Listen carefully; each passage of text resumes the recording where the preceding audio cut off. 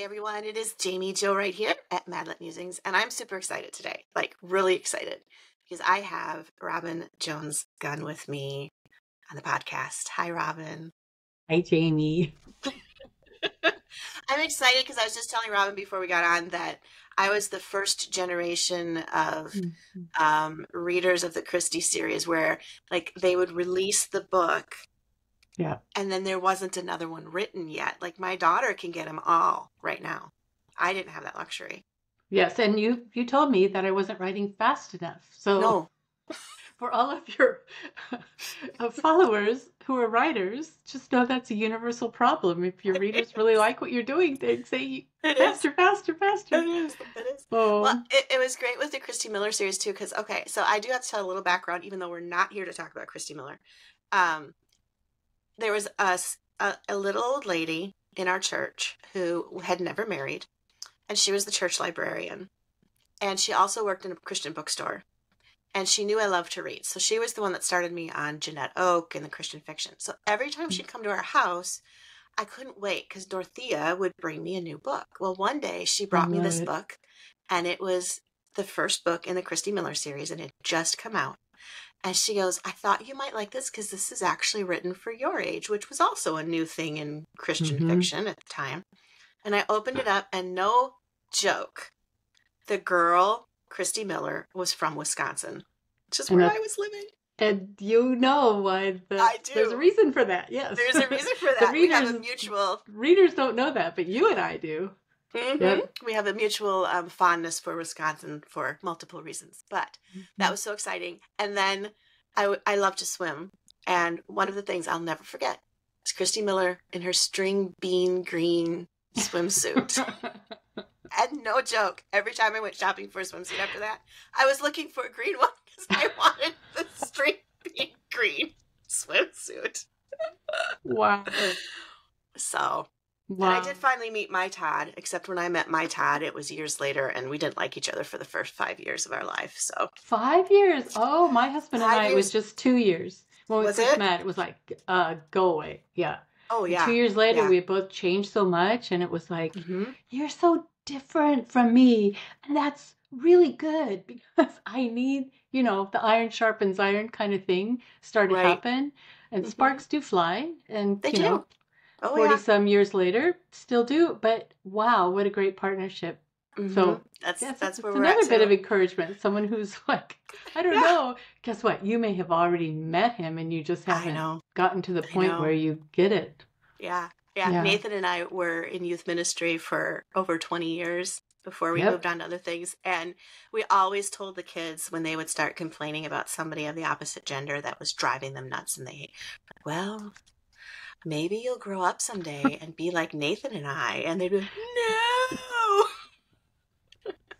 but it stops their complaining really fast. They're like, maybe if we don't talk about it, it'll go away. But Oh, so this is fun though. So you have a new book coming Mhm. out with Revell. Tell us a little bit about it because it's not Christy Miller. It's a totally different concept. So let's go. right. So the title is Tea with Elephants, and it's the first in a series that's um, called The Suitcase Sisters. So I wrote a series years ago called the Sister Chick series about two friends that travel all over the world and different characters in each book. And there's eight books in that series. And I kept getting mail from readers. Again, you don't write fast enough. We want more Sister Chicks. Or, and I realized I had changed a lot since I started writing those books. My daughter's much older now, so I'm watching her generation and how they are navigating things. And so I just put something up on uh, social media a couple years ago and said, So um, if I did write another Sister Chicks book, where would you want the characters to go? And I I had like 1,200 responses within a day Wow. and all, they really wanted clearly for the books to be for this you know younger generation so that the main characters in their late 30s 40s kind of dealing with Mhm. those life issues but send them off to some interesting place in the world and let them have an adventure and see what their life looks like compared to the rest of the world so Yeah. um I knew then that the first one had to be set in Africa because I've been to Kenya twice, but I had never written a full novel about it. I, I in Mhm. the Katie Weldon series, I sent her to Africa in the Mhm. fourth Katie Weldon book, Finally and Forever, and she goes off to Kenya. But um, oh, it was just so fun. I have a really good friend in Nairobi, and she Mhm. took me on a safari one time when I went, and she took me to a hotel the second trip. We went up uh, and stayed in this treetop hotel where you look down on the watering hole and the animals come at twilight. And Okay. it- they have this like balcony area where they come with silver tea set service and on china cups serve you tea with elephants. And then that's Oh my how I got the title. yeah. That's like a dream. That would be amazing. Yep. That Yep. would be so cool. Oh, I love that. And I love elephants too because um, I was raised in Circus Town, um, as you Mhm. know. I and I remember going down to the river. It wasn't quite as glamorous where you have tea on silver and teacups. but we'd go down to the river and the elephants would be loose and they'd be in the Oh. river bathing and it was the closest you can get to a safari in Wisconsin. But I love was so fun. it was great. I loved that as a kid. Elephants are the best. Are they still there? Uh, this is the first year without the elephants. Oh. Yeah, yeah. The circus is kind of dying down, and the elephants that they had were aging, and so they've retired them. And now there's kind of a whole question mark around elephants and circus and treatment and all that. Oh, so they're just kind of Yeah. separating from that, which is is okay. But Mm. they had this one elephant. She's been there since I was a kid, and I've ridden her and been slapped by her with her tail and all that fun stuff. So, so I, I relate just slightly, just slightly yes, to the you were initiated, that's for sure. I love that. That's awesome. So you have two two characters. Have we ever met these two? Are these two from the Sister Chicks or Nope, totally new? Nope, nope. Okay. Totally new and really a different feel than the Sister Chicks, kind of, because the last series that I had been writing was called the Haven Maker series. There's only two books. Um, Mhm. Becoming Us and Being Known. And I had hoped to do a whole series, but the publisher decided that we were done after two books.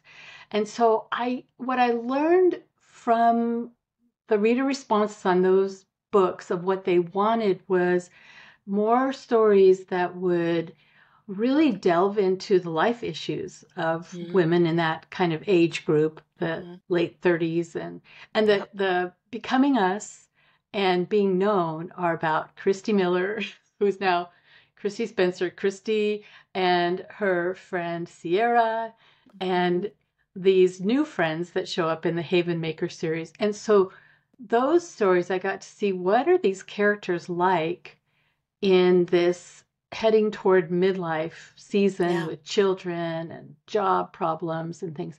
So that's incorporated into Suitcase Sisters. So it's a little bit of Sister Chicks, a little Yeah. bit of Haven Makers, but brand new characters that um you know I do you feel this way Jamie like I have to really like my main characters cuz especially when I'm writing first person and this is a little different way of doing things and then the um two friends. One of Mhm. them is telling the story but the other you have to really get to know her too. So it's kind of like Mhm. double work on the characters insights.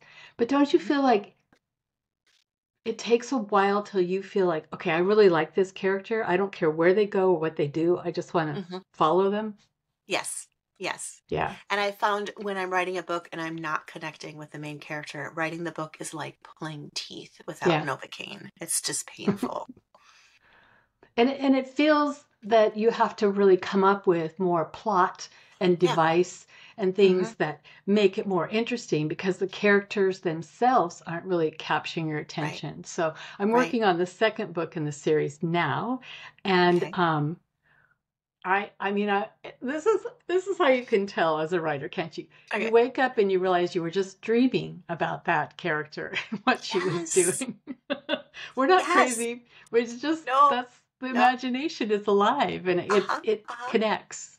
hmm I've gone to sleep and I've kind of been in that between sleep and wake mode. And then I realize I'm praying for my character. Yes. I'm like, oh, I go through the list of people that need prayer. And then I remember this person who has got this awful thing. And I'm like, wait, she's, we'll set her aside. She's not real. It's okay. Yeah. Lord, you don't have to waste your time on her.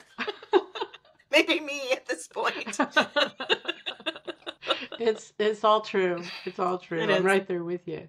So, Yeah. anyways, that's Yeah. the, the long answer to your question, but it's it's it's really a combination and it's something new. And I love doing Mhm. something new because there's just a freshness that comes with it. Yeah. hmm Yeah. That's awesome. So we have women that are barreling down toward midlife, which is pretty much where I'm at. I might be on the tail end of that. We won't say for sure. Um, definitely 30s in the rearview mirror. I will say that. Yeah. But what kind of issues, topics did you find yourself, especially with this new one coming out, really diving into that women can expect to read about? Yeah, with the very first book, I, well, I don't want to give a lot of it away, but the main character who's telling the story has a, Yeah. at the very beginning a jolt of a big life change. And it's like she's not quite sure who she is anymore. Like that's Mm. what I spent all my years focusing on to be about that and to do that. And and now that's just changed and I don't I don't really know where I am. So that was fun to see her kind of come into the what's next because we've all had to do that where you have to let the old dream die so Yeah. that the new dream can have space to grow but Right. because the seasons the the ground is going to be frosted over for a while or you know nothing's going to be sprouting up until that Right. new season starts so Mhm. with the the um the other character in the first book um i think i can t- i can tell her issue without giving it away Okay. but i i've heard this in so many young women she the second character she and her husband married quite young and here they are 38 and she's asking herself did i make a really big mistake like Mhm. i i i didn't we got married we started having babies we had got a house like i'm not even 40 and i've hit all these supposed life milestones and i i, I lost myself along the way so Yeah. that's really fun for her too because i think taking him to africa and putting him in this place of everything sort of uncertain it allowed their foundations to get shifted and Yeah. um yeah that's just Yeah. kind of how real life is isn't it It is. It is. I'm relating to some of these things already. You're talking about them, and I'm like, not that I think my marriage was a mistake, but you do kind of you go through all these Oh, seasons, and yes. then all of a sudden your kids are getting older. Like my kids are just in their early teens, and they're developing their own lives, and I'm sitting here going, "Who am I? What yeah And then I realize, you know, I go through the stop telling me what to do, honey. Like, and he's not, but you kind of get this little independent, rebellious streak at 40 something years old where you're like, wait a second. I want to be me. yeah You and I- know, i'm not sure who weird. that is right now yeah yeah. and that's yeah. what i really want to have the readers feel because Mhm. it is a real visceral kind of experience when It you're is. in that especially Yeah. With teenagers i mean it's like premenopause meets preteens like that's that's That's an explosion waiting to happen. Yes, it is just is. be honest. It yes. is. I don't know how to best say that, but it's just so that to to take to just go into these stories and be able to focus on these characters who are out of their normal situation. Right. and there they are experiencing another part of the world and saying okay this was what is happening. I can see it more clearly now and this is what needs to change. Mhm. and it, it's a good change and I'm, I'm happy with that. So to Yeah. that's that's the kind of story i love to tell to kind of take the the characters on that journey. So the reader closes the book and says thank you. That helped i now i see i see Mhm. what's next and um it's through a story that's why we write fiction Right. jamie I know. I know. Right? Right. Yeah. Well, you know, it's kind of funny too because I was talking to a couple friends of mine and they're like, you know, I probably should read more nonfiction, et cetera, et cetera.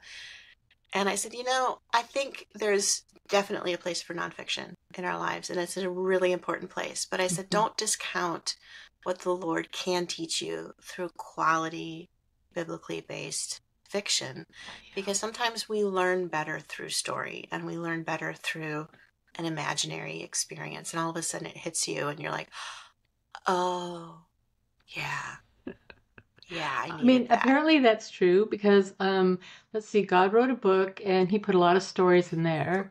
And Jesus came and he told a lot of parables, and Right. somehow that's how we learn through I know. generations, you know? yeah yeah That's why I think it's it is. really an honor to be able to do what we do yeah because not everybody can tell stories and not everybody can have that wisdom that God gives us to see this this is a truth and I can kind of smuggle it into this hmm tale and the the reader will they won't the Yeah. reader wouldn't hear it if a friend came to them and said you should do this or you having Right. problems you know nope Right. but it's like oh the mirror the book Mhm. becomes the mirror oh that's a really great way of saying it you're Yeah. right it does it becomes this reflection back at you and you're like oh i can apply that and somehow it's easier to recognize your own either insecurities or your own errors when it's a fictional person telling you like you don't get as defensive yeah yeah Like if my husband tells me, "Here's your problem," I'm like, "Well, that's not your right to tell me." But if Christy Miller says, "Here's your problem," I'm like, "Oh, Christy, you're so wise." it's true it's true oh, I love it. So, Tea with Elephants, and it takes place in Kenya. Mhm. Um, can I ask? Is it a spoiler if I ask how the two characters end up going to Kenya? Because that's not typically no on your. they are given a safari from one of the I'm not saying their names because Mhm. there's actually something in the very beginning of the book when they first meet that um, is a play. It, it kind of connects to their names, so I don't know, but it's on the back cover, so whatever. okay. But they, um, the secondary character, her father-in-law, who travels a lot with his wife, gives her the this tour package of a safari Okay. because um, her mother-in-law is eh, just particular about where she goes and prefers cruises and sitting by the pool reading a book and so she decides I don't want to go be about wild animals and about you know things that are so Yeah. unfamiliar and Yeah. so it's like use it or lose it and so uh, this secondary character's husband says you know i really think you should go with this friend they've, they've been friends since they were in high school and they always Okay. had these dreams Mhm. faraway places Mhm. and it just life didn't go that way so here's their Yeah. chance and it's Yeah. a gift Yeah. in many ways yeah In many ways, yeah.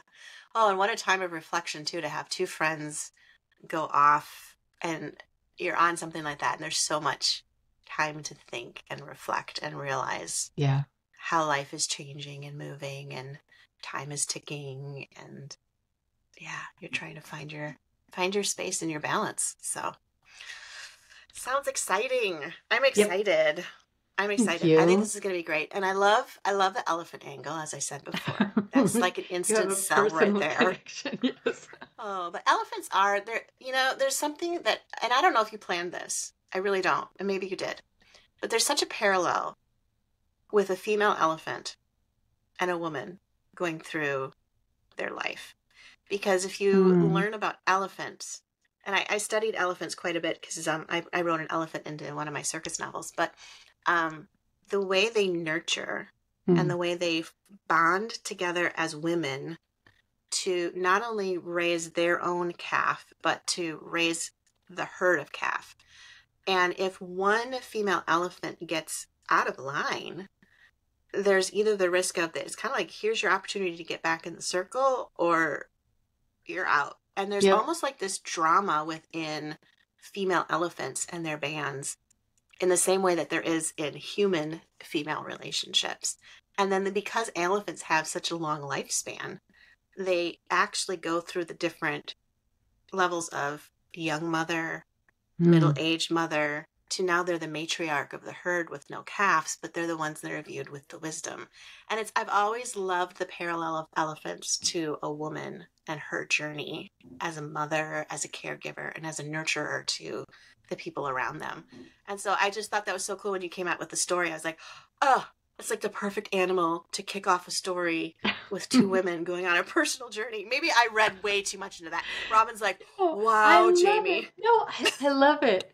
I love it. And you have such a beautiful way of expressing that because there's touches of that in the book, but I, I wished I'd had your words to add to it to kind of embellish it a little bit more. Because the thing that's truly amazing is the they have the largest brain and they remember, they really do remember.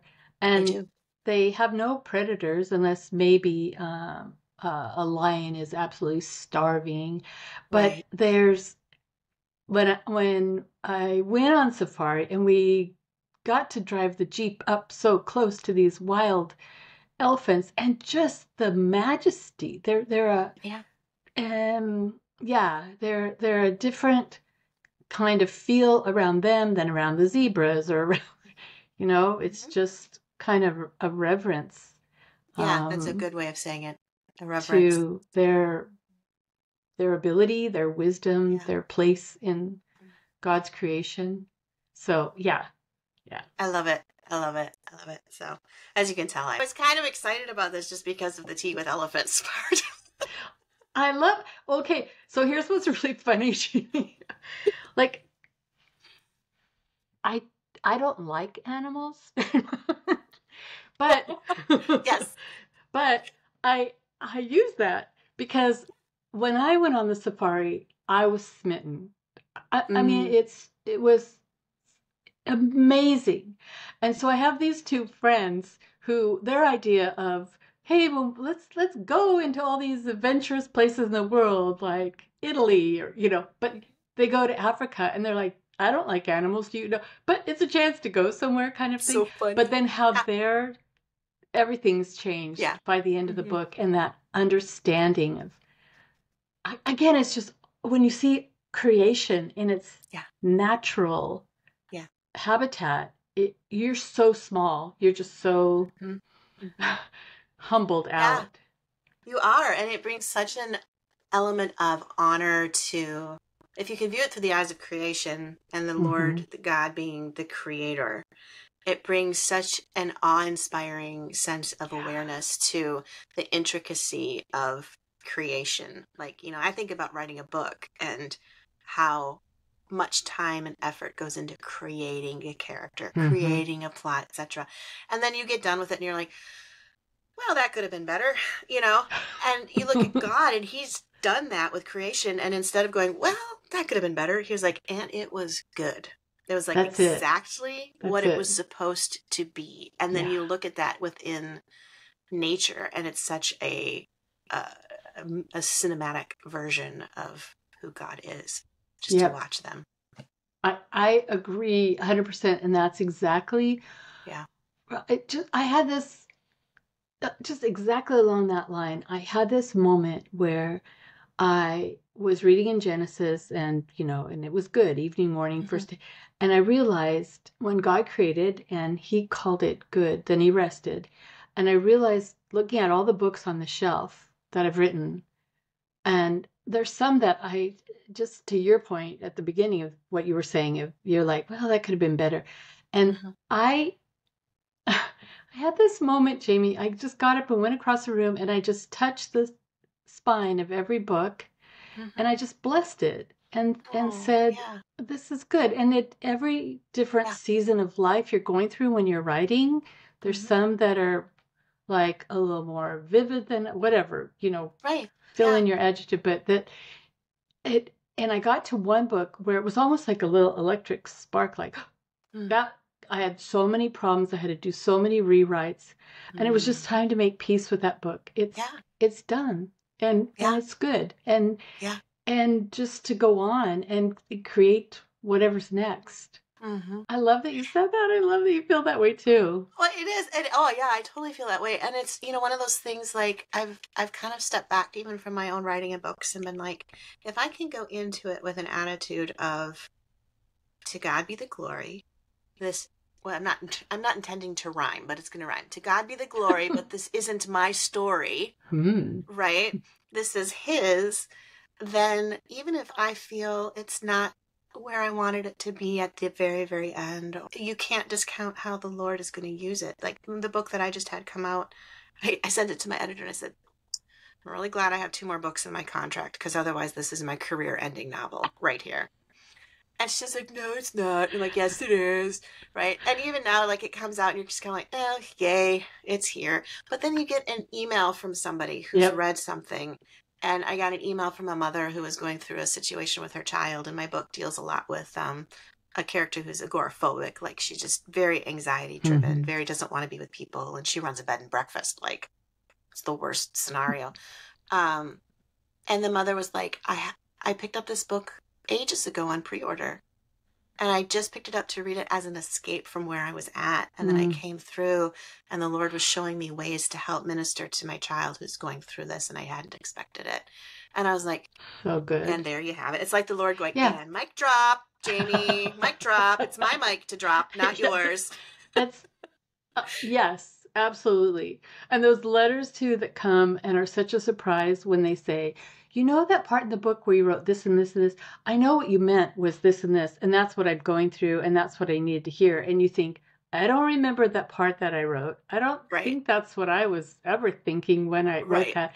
But how alive, like Yeah, words just can yeah, be like little seeds that get in there. exactly. That's and then so the Lord connects that back to His word, which is the perfect word. And Yes. then everything's redeemed. Yes. Yes. so great. So great. It is. Oh, well, I could sit here and talk forever. I know. But, I love um, it. I love it. It's it's so much well, fun. and but- you and I met quite a few. How many years ago? Five or six years Mm. ago at a writers' least. conference yeah, in trying Indiana remember. or I think it was Indiana. I think it was Indiana. Indiana. You were keynoting. You were keynoting. I think it was Indianapolis. Yeah, yeah. But Anyway, I know. But that's that's the only time we've been in the same space, and we didn't really have much of a conversation then. oh, so I'm oh. grateful for this. it's fun to have conversations with you and, you know, a little bit of the childhood hero right here, you know, looking at you going, I'm talking to Robin. Um, but, Uh. it, you know, it's, I love to see, you know, even in my own story, I look at how the Lord links people through story. Mm-hmm. And, you know, there I was a, I think I was 15 or 16 when the first Christy book came out. And reading that book that Dorothea, this little old lady, gave to me, and how I waited and I would ask her at church, like, when's the next one coming? Well, I'm not sure because this was pre internet, right? Oh you know, this was the day where you didn't have to do anything, Robin, for marketing online, you know. And she'd be like, I don't know. I'll just keep watching the magazines that the publisher puts out and I'll let you know. And then Yeah. sure enough, she'd, I have something for you. And it was always in a little plastic, not plastic paper, brown paper Mm. sleeve from the bookstore. And she'd hand it to me.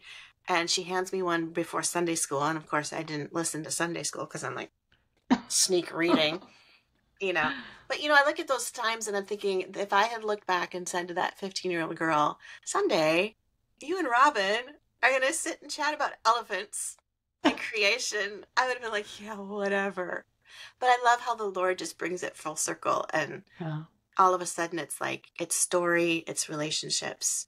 And it's really all for his honor and glory. And I, that's the best part right there.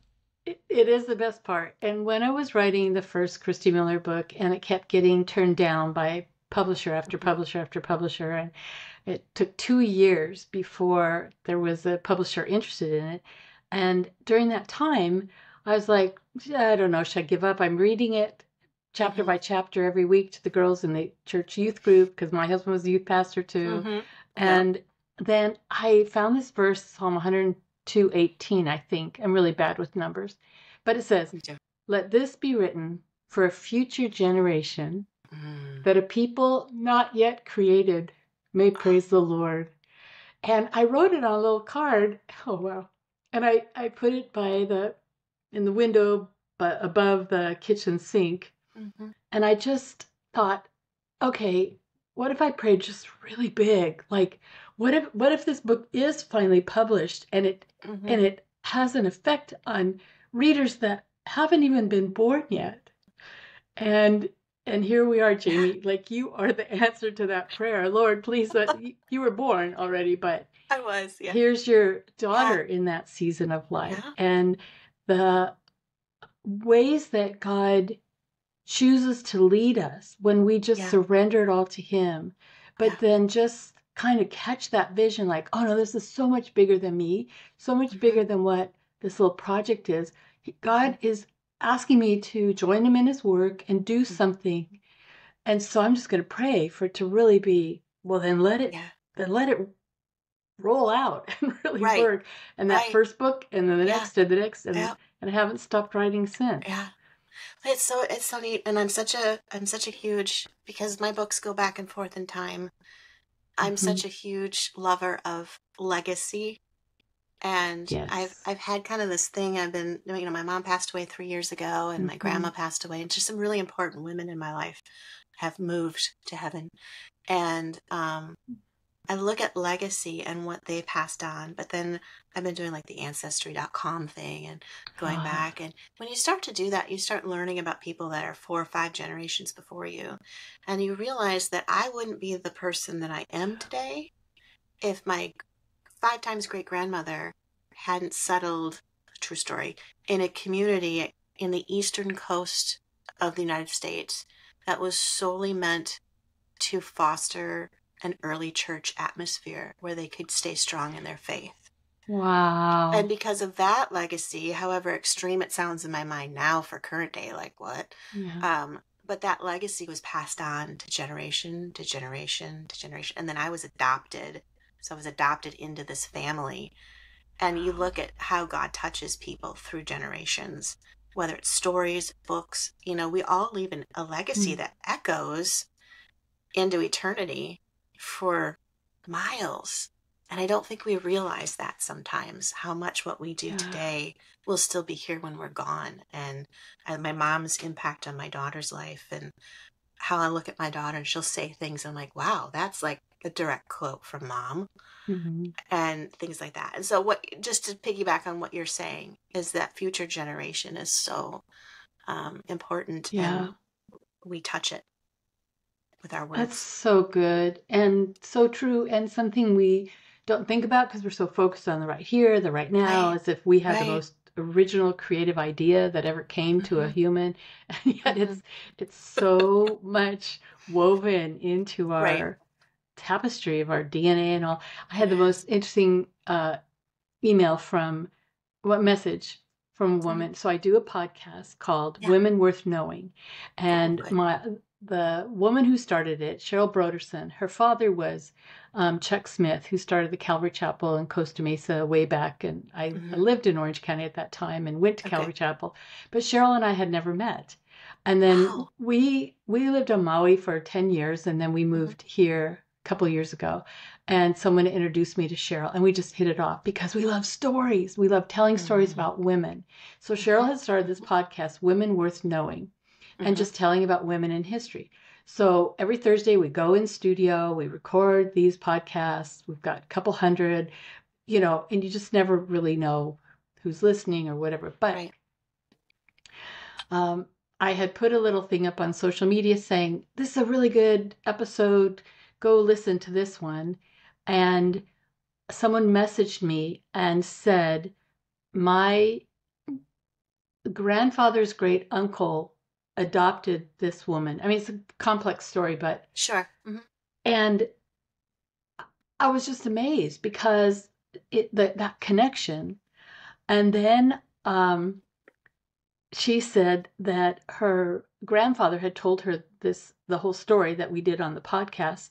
The woman's name is Svea Flood, and so she had learned about Svea and Svea's daughter Aggie, and that was Okay. Aggie was the girl that was adopted.